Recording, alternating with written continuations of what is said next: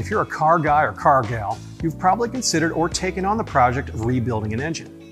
In many cases, it's for an antique or classic car, or it may even be a newer vehicle that's developed engine problems.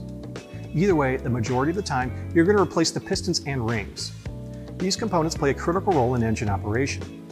As the pistons move upwards in the cylinder, they compress the air and fuel mixture, and when it's ignited, the energy released by combustion drives the piston downward, transferring mechanical energy through the connecting rod into the crankshaft. The pistons endure extreme stress during engine operation, and the piston design, in conjunction with cylinder head and combustion chamber design, is responsible for engine compression, which has a major effect on engine performance but the pistons also affect the characteristics of the combustion process, making them an integral part of engine efficiency. The piston rings have two jobs. The first is to provide a compression seal between the piston and cylinder wall. The second is to control the oil in the cylinder wall to allow enough for lubrication, but prevent it from getting into the combustion chamber. Most modern pistons are three ring pistons, and each ring has a specific job. The top ring is what seals the compression. It plays a minor role in oil control, but 90% of its job is sealing compression.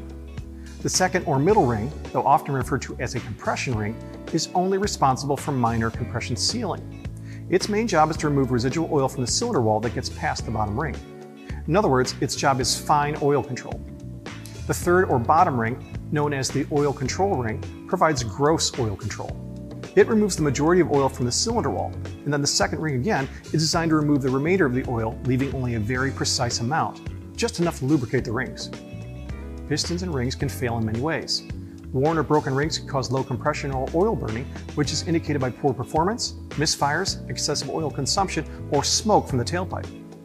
Pistons can wear, causing engine noise known as piston slap, and catastrophic failures such as a burned or cracked piston can be caused by many things, including excessive carbon buildup, fuel delivery problems, incorrect ignition timing or spark plugs, poor quality fuel, failed EGR systems, or even too much boost pressure on turbo or supercharged engines.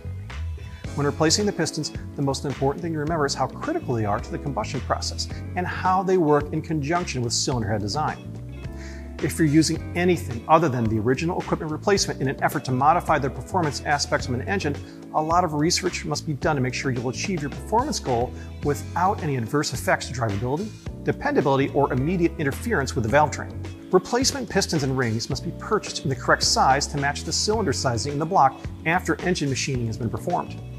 It's also just as critical to make sure that piston ring gaps are properly adjusted and that the final cylinder finish or hone is properly reformed to ensure the proper ring seal. The science of piston ring sealing is so advanced today that even when you're assembling the engine yourself, it's best to consult with both the piston ring manufacturer and the machine shop doing the work to make sure this part of the job is done correctly. Thanks for watching.